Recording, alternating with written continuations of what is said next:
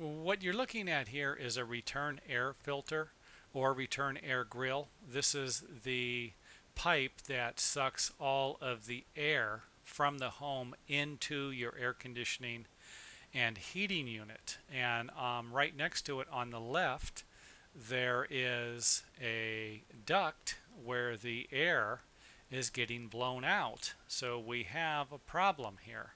And the problem is because they are too close to each other.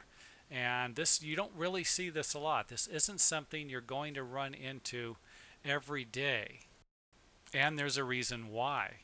And that is because the air coming out of the duct on the left is just going to get sucked right back into the return air duct on the right.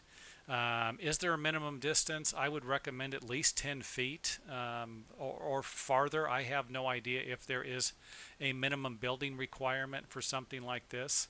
Um, if it's less than a foot, we've got a problem here.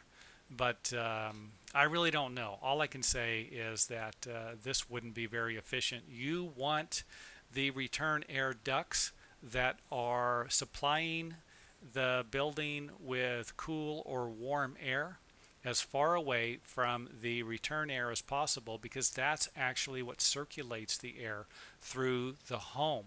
So if you have a duct on the left side of a room and the return air filter on the right side of the room, then realistically you're going to get a nice cross flow of cool or warm air flowing through the room. Um, and hopefully that makes sense to you. Now there is one more thing I would like to point out and that would be the fact that both of these ducts are on the same side of the forced air unit.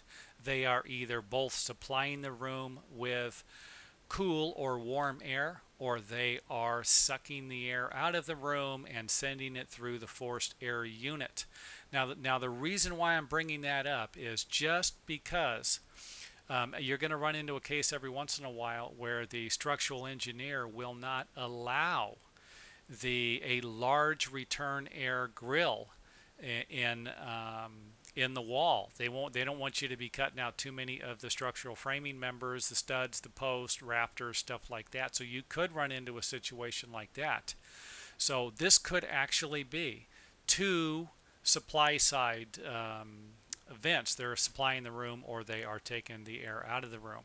However, um, like I said earlier, I don't think that is the case. I think that uh, this was actually installed this way.